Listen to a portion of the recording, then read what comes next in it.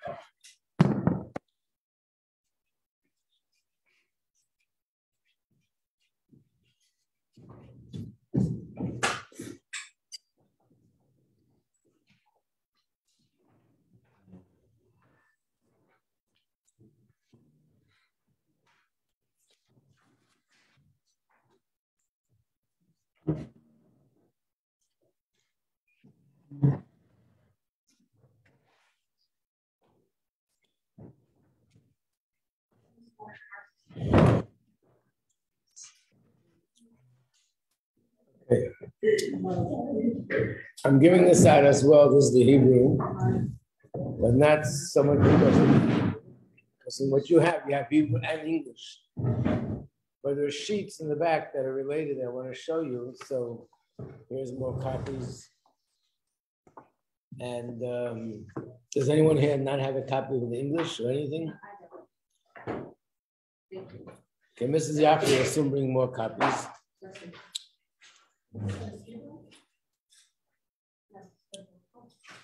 It's mainly because of the pages in the back that we're going to be referring to as we move along.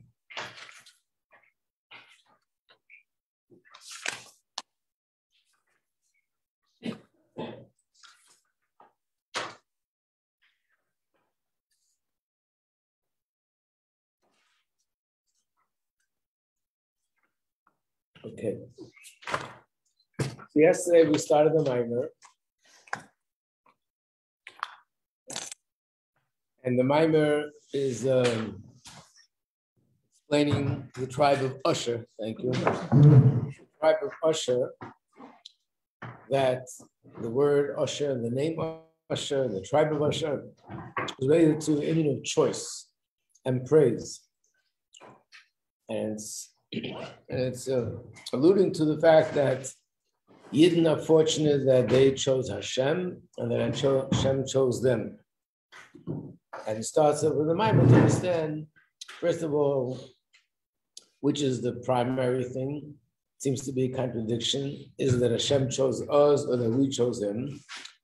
And second of all, how does choice apply in such a situation? We're making a choice between Hashem and Lahavdil, uh, Avodah Zarah, which is non-existent, which is just a fabrication, nonsense. So in order to explain this, he starts with a medrash. And the medrash gives a mushal. We know that a medrash will only give a mushal when there's something very deep here and needs a mushal. So the mushal is that the king came to a certain country, and with him he had ministers, three different kind of ministers. And when he came into the country, there's some people that said, "Oh, I'm going to make a connection with this minister," Others said, I'll make a connection with the second, and others with the third minister. This word is going to keep coming up in the Maimer. Pikach means someone who's smart, clever, perceptive. He was able to see through everything, and he said, I'm choosing the king himself. And what was his reason? Because all the ministers could be replaced. And the king, he's, he's forever. And the Rabbi asked two questions. Question number one, you have to be like an exceptionally smart person to realize that the king is greater than the ministers. A little child knows that. And the second question is the reason why a king is greater than the ministers is not just because the ministers could be replaced and not the king, but because the king, in essence, is just a much greater personality than ministers. He's in a much higher level. That's why he's the king. So in order to answer these questions, and, and what's the mushal? The mushal is that the nations of the world choose the ministers. Some choose to worship the sun, some worship the stars, some worship the constellations. And the pikach is Bnei Yisrael, and we say we're only worshiping one, which is Hashem himself, the king. So now it goes into where does Avodah Zarah come from? Where does that mistake come from? You didn't get a copy yesterday? Um, okay, Mrs. Yaf is bringing up more copies.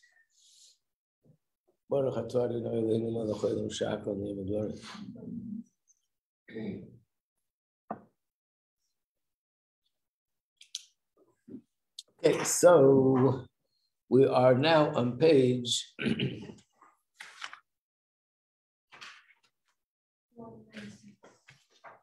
196. So the Rebbe says that the people originally, the first people to worship Avodah Zarah, they didn't deny that Hashem created the world. They knew Hashem created the world. What was their mistake, which was Avodah Zarah? their mistake was that they felt that Hashem gives, and they also knew that Hashem gives us sustenance through the stars and the constellations and the sun and the moon and the, everything else. But they believe that these forces have independent choice. And therefore, they said, and again, this phrase, try to remember, it's going to keep coming up in the Maimer. Chamra lemara tevusa l'shakya. The wine belongs to the owner, the thank you goes to the waiter. Which means the one who's really the owner and the one who's really in charge is Hashem. They recognize that. But a little bit, there's a little bit of a choice that's made by the waiter. Like I said yesterday, in Gashmis, how soon he'll bring you the food, how pleasantly he'll put it down on the table, uh, he'll accommodate you if you need something, you're missing something. All these little details is from the waiter, even though in general everything is from the owner. So Hashem is definitely in charge. Hashem is definitely the one who gives it to us. But the stars, the moon, the sun, the constellations, they have a little bit of a choice. And therefore, they worship them. So let's go to that part now, 196. In the Hebrew? yeah, let me tell you one second. So those of you who have the Hebrew, it's an Ois Gimel.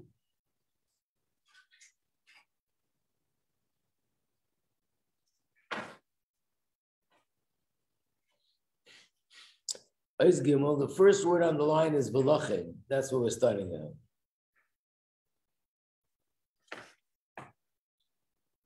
at. Am I? Um, a little bit further. A little bit further, which is, look at the, the last word on the line is the fee. We're starting by the end of that line. The gam ki fee. So first of all, they thought the reason why they worshiped them was to say thank you. That's number one. They felt we have to acknowledge what they're doing for us. Like we say thank you to the waiter. For Gam, another reason why, why they worship them, according to their mistake, the way they saw things, that they have the choice. So they thought by worshiping them, will give them more. Like if you're nice to the waiter, okay, he'll bring me another portion. Nobody's looking. We'll go into the kitchen, get me another portion. I want the, the top, the bottom, the, the steak, this. He'll, he'll, he'll do things which is going to benefit me. So they think by giving thank you to them and worshiping them, they're going to give me more because they have the choice to do whatever they want. So this is called the basic level of avodah zarah, basic. But from this, what evolved was a bigger mistake, a worse kind of avodah zarah. We said this led to committing a grace um, bigger sin. They made even a bigger mistake.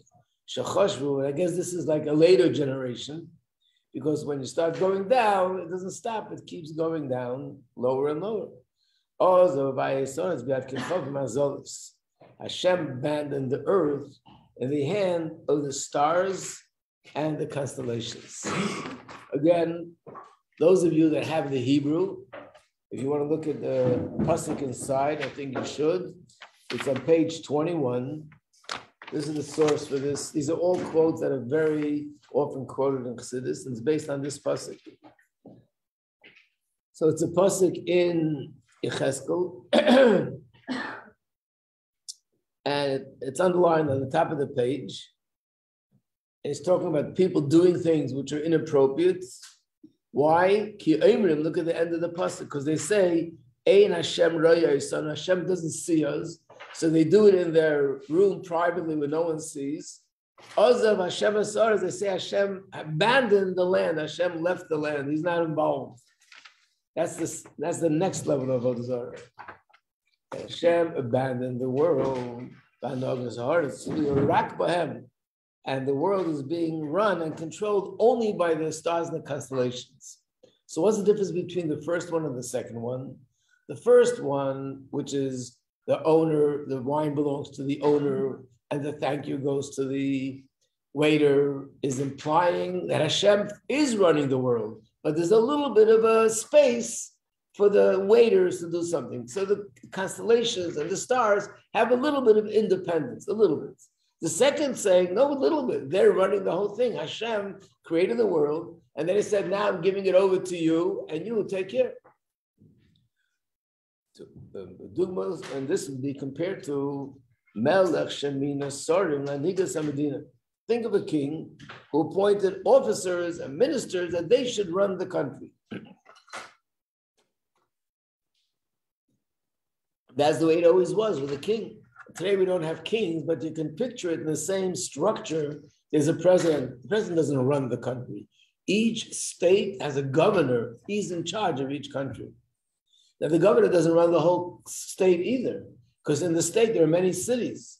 So in each city there's a mayor. He runs the city. And the mayor doesn't run the city either. In the city, there are many different districts and different people, and different people are in charge of different departments. The mayor oversees everything in the city. The governor oversees everything in the state. The president oversees everything in the whole country. And that's the way it was with the king. So you have a king and he appoints officers and ministers and they're running the details. Even though the fact that they have the authority to run the country is because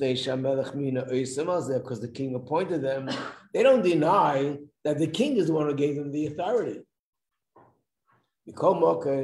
Nevertheless, but after the king appointed them, and after the king delegated authority to these people, Hanagas Medina, they them who runs the actual day-to-day things in the country is the ministers and the officers, not the king himself.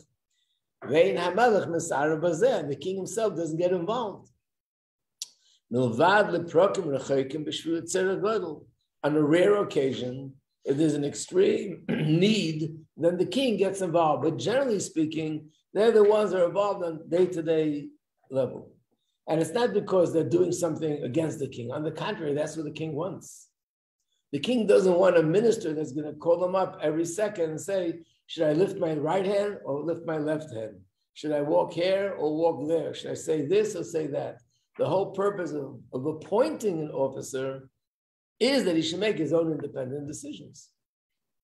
I mean, the same thing with everything else. I say business, there's a person who is a billionaire and he owns 20 stores.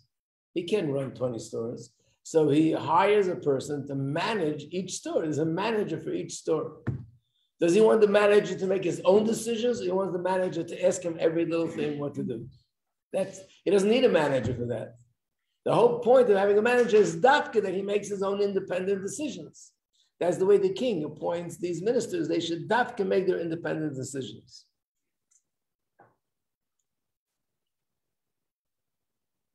That's the meaning of the second level, the worst level, that Hashem abandoned the world. It means he removed himself and he gave over the running of the world and the management of the world to the stars and the constellations.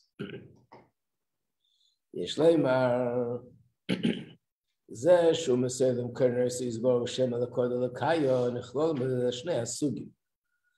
In the Gemara it says, it's a Gemara, that the non-Jews, they believe in Hashem, but they also believe in idols. And what do they what do they say? They call Hashem the God of all gods. When we say these words that they call Hashem the God of all gods, this is a phrase and a quote that includes both levels that we mentioned before. Let's see how. Shagam Also those people that believe. Sha'oz of Havayas Ha'oretz. Even those that believe that Hashem totally abandoned the world in the hand of the stars and the constellation, they still call Hashem Elokod Elokayim. Why? First of all, they believe Hashem is like, they believe those gods are strong, but they believe that Hashem is the God of all gods. He's stronger than all the gods. And if he wants to, he can overpower them. But they also recognize that the fact that there are other gods and the fact that they have the kayach, lahanigas to be the ones to run the world and to give the world sustenance, they realize that other gods don't have the power on their own. Hashem is the one who gave them the kayach. So it means even those that say Hashem abandoned the world and left it in the hands of the stars and the constellations, but Hashem gave them the power to do what they're doing. The Dugma Sari HaMelech, like in the mushal of the officers of the king, Shemanhigim es Medina, they're running the kingdom on a daily basis, but it's because the king appointed them. They recognize that they're appointed by the king. So therefore, the Lakaya is something which could be used for the lower level of Avodah Zarah, the worst. But it could also be used for the higher level of Avodah Zarah. Now,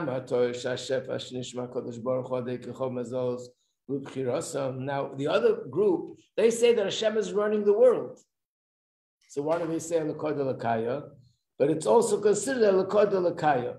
It's also considered that they're looking at nature and the stars and the constellation as gods. And Hashem is the God of all gods.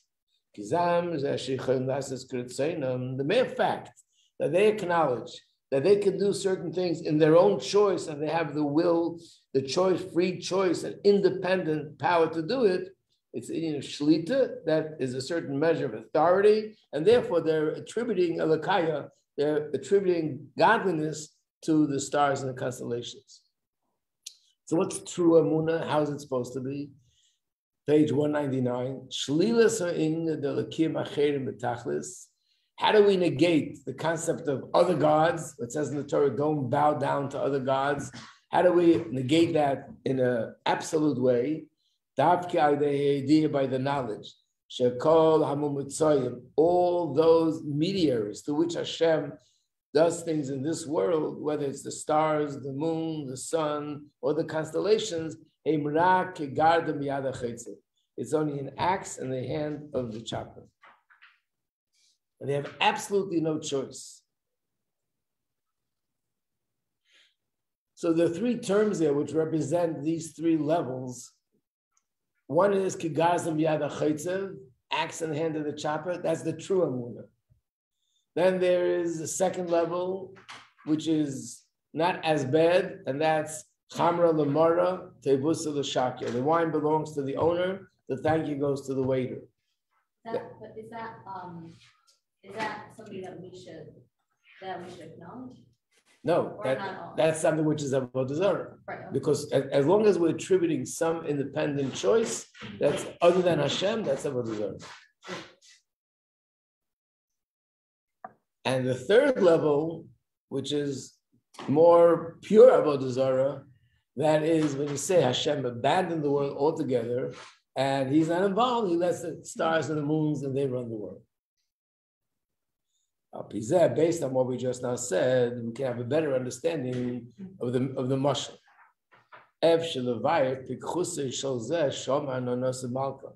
We can understand the wisdom of the person that said, I'll choose the king. The fact they didn't recognize the truth.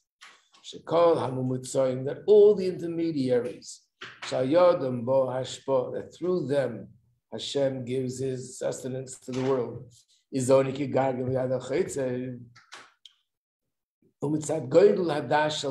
That comes as a result of their intelligence, of their great knowledge and understanding, and the way they perceive things the right way.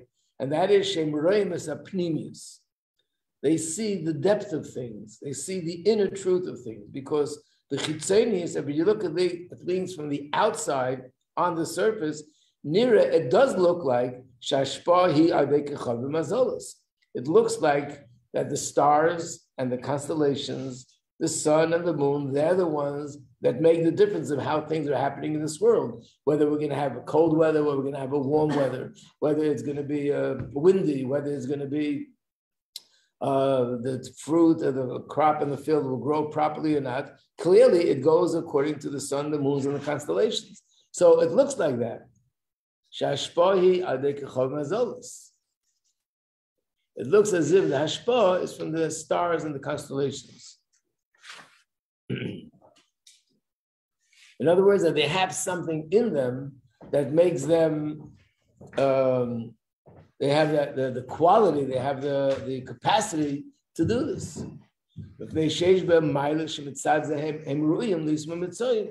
So it's as if they have something in them that they could also be leaders and, and people, and not people, they could be leaders and control the world, run the world.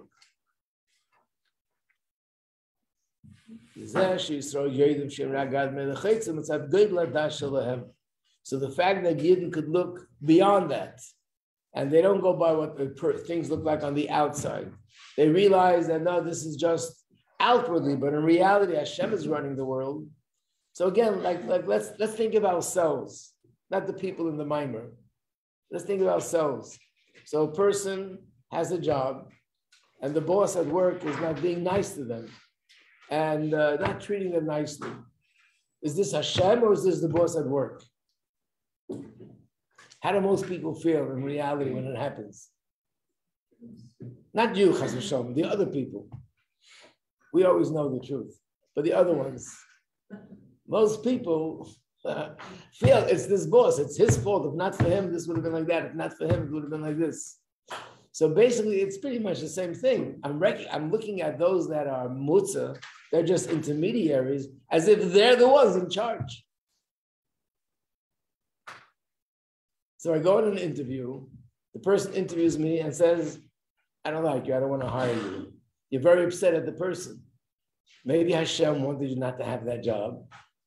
If a person gets all upset about the one who is hiring me, and, and because they're upset at me, and that's why I lost the job, in a sense, they're doing the same thing. They're attributing it to the intermediary more than the Abishter. Now, it's a little bit different because humans have choice, but that's the way they look at the sun and the moon and the constellations. It's very hard because if you know the laws of nature, it looks like everything's happening because of the natural order. I really heard this once, even from a frum Jew. He's a frum Jew, and it learns Torah, learns, uh, does all the mitzvahs, but just his hashkafa, his outlook was very worldly. And he was telling me that in the school they teach the children how the rain, it's all from Hashem, and you have to daven and pray for rain, and, and you pray this way, pray that way. He says, children have to learn the science. How does it actually rain? It was like almost like he's upset that they keep putting it on Hashem. They have to learn the science. How does it rain? when this and this happens, these conditions are such and such, that's how rain comes about. The person didn't realize, in a sense, what he is saying is almost like this. It's sort of a form of avodah zarah, like attributing things to nature rather than to Hashem. And nature is just the. Now we don't deny the fact that there are conditions that make it rain, but again, who makes the conditions? It's Hashem. He sets up the whole thing.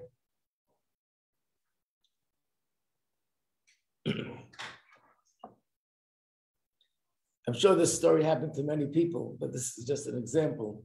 There's a part in davening before the Shema, we say, Hashem, help me that I should never, ever be embarrassed in the future. So the neighbors when they call him word, I shouldn't be embarrassed and humiliated in the future. So one of the ways explaining this is, it's very humiliating when we're constantly giving so much attention to something external, and we don't realize it's the wrong, we're giving attention to the wrong thing. It's really Hashem, not the, not the things that I'm giving attention to. So the, I think of a mushal that comes to my mind, which is a, something that probably happened to a lot of people. And there's a thing called a wax museum. Ever heard of it? So very often it happens where a person walks over to a policeman and asks him information and he doesn't answer. So, you know, it's very rude of you. I'm asking you a question. And everybody starts laughing. Why is everybody laughing? Because it's not a policeman, it's a wax policeman. But it's made in such a way that looks so real that you can think it's a real person. So imagine you're arguing with this guy, you're screaming at him, and everybody else is laughing because it's and then it's very embarrassing that I thought this was a person and I'm and I'm getting all upset and all worked up. So in a sense, this is the way they are with when you look at things on the outside, it looks very real that the stars, the moon, the sun, the constellations are having an effect on the way things are running in this world. So the Yidden have the wisdom to look through the, the facade, look through the outside and see the premiums that they're only an axe in the chopper's hand, and really it's all coming from Hashem. Got it? This is this is sort of just the beginning. Then we're going to go into understand it on a, on a deeper level. Now, in the back, those of you that have the Hebrew, I put down the terms. I just want to draw your attention to it. That's on page. How many of you have the Hebrew? Who doesn't have the Hebrew, rather? Okay, more copies should be coming up. This is Yafa Ringman. So on the in the Hebrew, I'm not going through everything, but just on top of the page it says kigars and biyad That's one term, and that's uh, axe in the hands of the chopper. Number two, chamer lemora tebusa l'shakya. The wine belongs to the owner. The thank you goes to the waiter. Number three is Elikod Elikaya, the God of all gods. Where's the other one?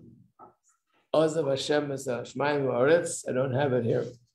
But that's the next one, the third one. That Hashem abandoned the world in the hands of the thing. Okay. So outwardly, it does look like these stars and moons and constellations have influence.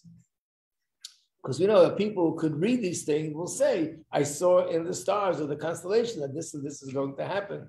And, and therefore, it looks as if they're in charge. But the reality is that it only looks that way, but really you need pikchus to understand. Now the Rebbe goes deeper into Daled. Ready?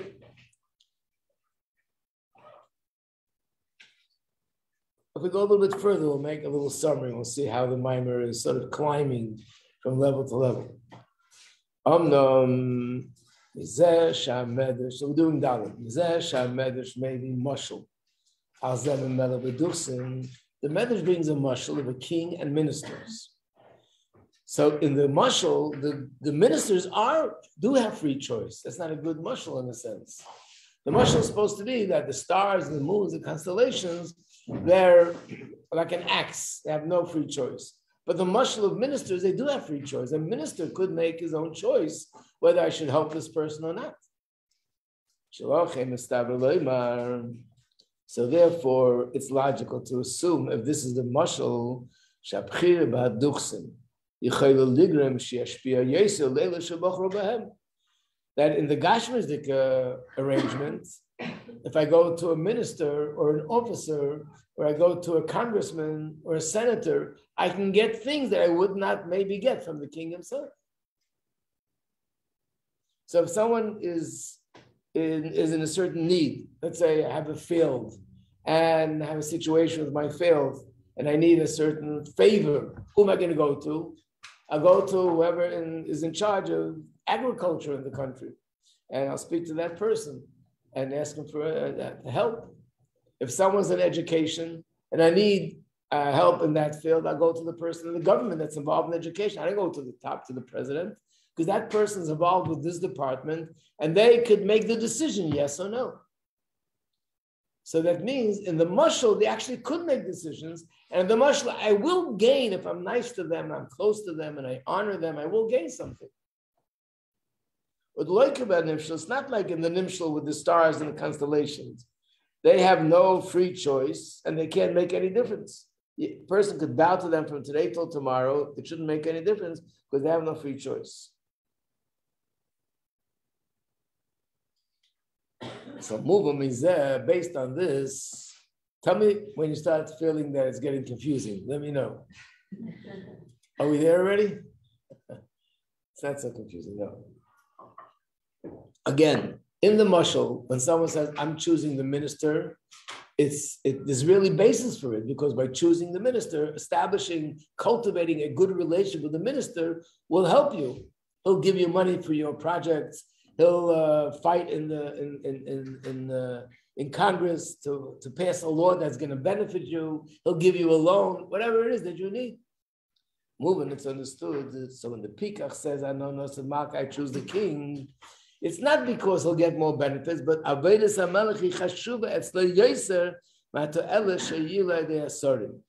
Listen to this. How come this person says, "I choose the king"? Let me ask you a question practically. Imagine a person has a good relationship with the president of the United States of America, but he doesn't have a good relationship with the mayor of the city of New York and the people who are involved in running the city of New York. When he needs a favor, he needs uh, to fix something on his block in his city, he's going to go to the president of the United States. On the contrary, he'll get more out of his relationship with the local authorities than to go to the federal government. It's not their department. They're too high for that. Definitely not the president himself.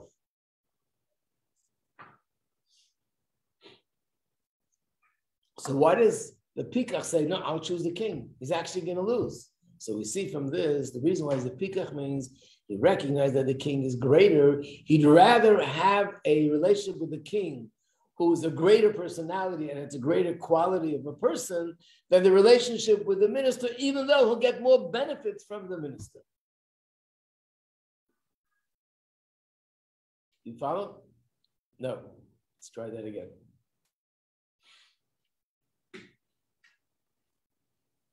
In other words, in emes, in truth, which relationship should be more valued? A relationship with a king or a relationship with a local officer? Forget about the benefits, just in terms of value, if I value the king. I'm talking about a king in, in, the Torah way, someone who really has quality in his intellect and emotion and personality, he's a great person. And, and to have a relationship with a king is a much greater a rewarding thing than having a relationship with a local authority because he's a simple person, he's on a, a lower level. So I'm so concerned about the emes and what's really better, what's really truthfully higher, uh, that, that means more to me than the monetary benefits that I can gain from the local person. That's the part. Too quiet.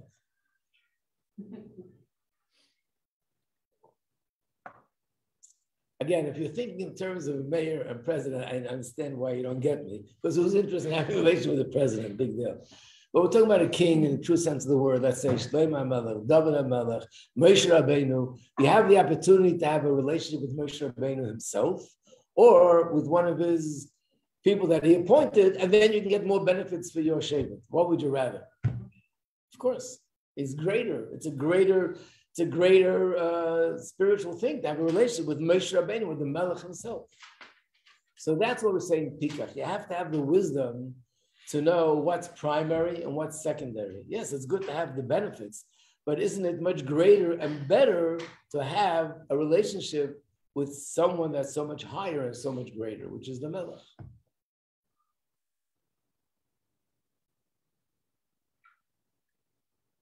Are we getting closer? Got it? Okay. I see some head shaking. I'm happy. Good. So now let's apply this in the Nimshal to Hashem the Ikra Tam al the main reason why the nations of the world worship the sun, the moon, and the constellations, and the Yidden don't worship it, they only worship Hashem, is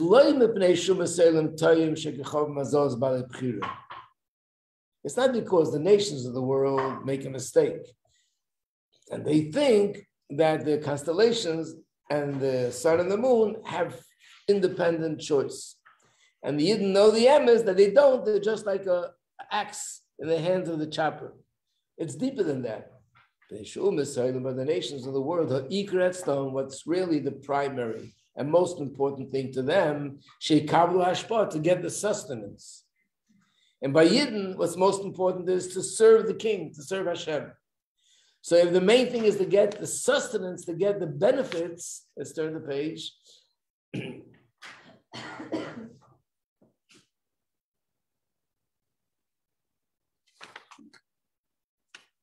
let's we'll stop here for a second. So therefore, they're saying we're going to get much more out of our relationship with the local authorities, which is the sun, the moon, and constellation, than our relationship with Hashem Himself. The Yidden know that by doing by their by working on their relation with Hashem rather than the than the other ministers, they won't have the same benefits, but they're more interested in the emes of the relationship than the benefits.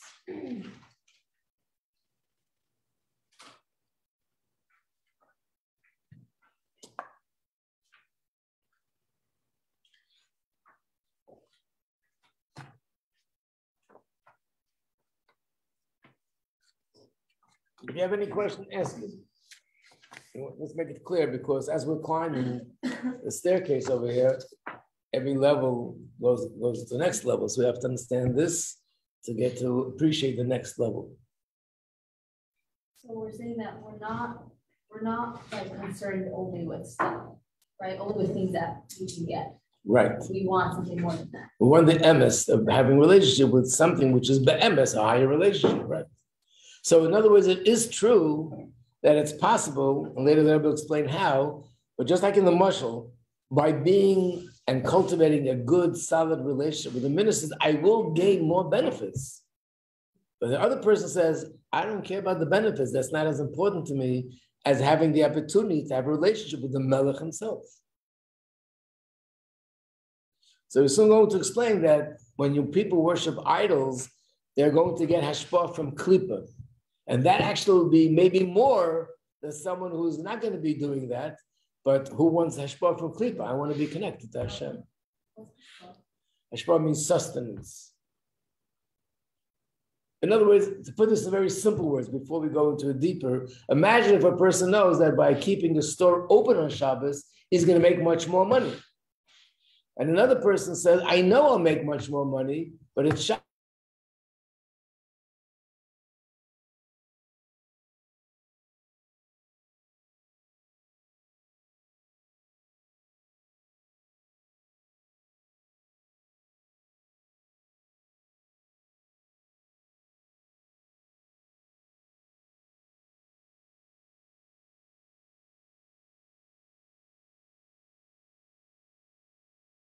But I'll have my relationship with Hashem the way it's supposed to be. That's more important to me than anything else. Same idea, just in more practical terms. So here's more of the English who doesn't have yet.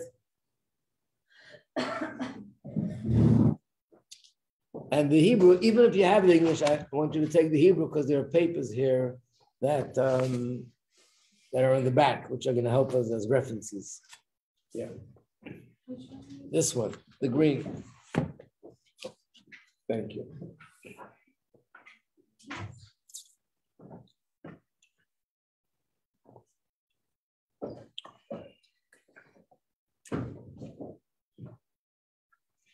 Thank you, Mrs. Yakin. Okay.